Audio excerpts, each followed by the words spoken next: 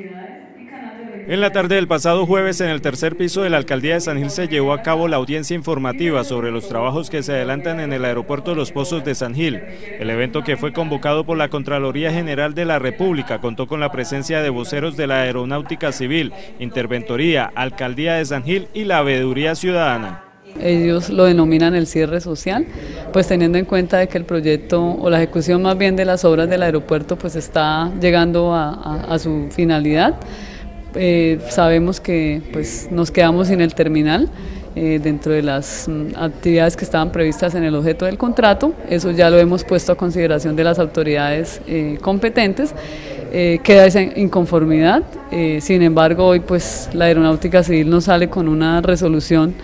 que pues dice que el aeropuerto quedaría habilitado tan pronto eh, el contratista se lo entregue al municipio. Ellos entregarán un manual con recomendaciones técnicas y que prácticamente queda casi la pista disponible para su respectivo uso. Dice la Presidenta de la Veeduría Ciudadana que hay temas que serán definidos por las autoridades, ya que hay ciertas falencias en la ejecución de las obras. Por ello, la comunidad manifestó su inconformismo, a pesar de la poca participación de los angileños en esta audiencia quedamos un poco eh, poca participación ciudadana, no sé por qué la comunidad no viene a ayudar a, preguntar por qué los recursos eh, públicos que se invirtieron pues no cumplieron el fin para el que estaba previsto. Sin embargo, nosotros como veeduría pues hicimos nuestro informe de acuerdo a la eh, información que nos han suministrado las mismas autoridades, manifestamos lo que no nos dieron,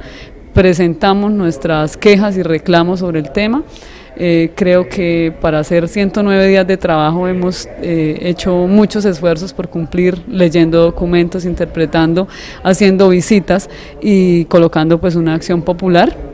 Dicha acción popular busca convocar por parte de la justicia a las autoridades y los responsables de la obra para que entreguen la documentación requerida por la veeduría, pero que nunca fue enviada. Hay ahí unas mm, inconformidades en el proceso, pero creo que la veeduría pues cumple con su tarea.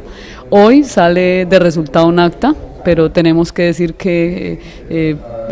digamos, el alcalde no hizo presencia, siendo una de las autoridades más interesadas en estar aquí.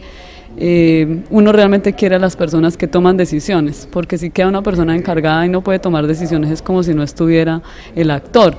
Queda ese vacío en la reunión a pesar de que había una convocatoria previa y una información escrita. Eh, queríamos que hoy la autoridad municipal dijera cuáles son las acciones que se van a hacer para mejorar lo que queda faltando, pero no respuesta. Sin embargo, la Contraloría convoca un acta que se va a firmar con los actores que están acá presentes, donde quedan unos compromisos a los cuales la veeduría le hará seguimiento y ya lo demás pues serán las autoridades competentes judiciales que harán la tarea que nosotros pues no pudimos hacer por no tener la información suficiente. Recordemos que la inversión en esta obra fue alrededor de 13.460 millones de pesos, de los cuales falta un saldo por facturar de más de 2.300 millones de pesos. Dentro de los documentos que la veeduría solicitó a la firma contratista y los cuales no entregaron estaba el informe de los gastos detallados en la obra, tanto de materiales como de pagos al personal. La entrega de la obra está prevista para el próximo viernes 17 de agosto.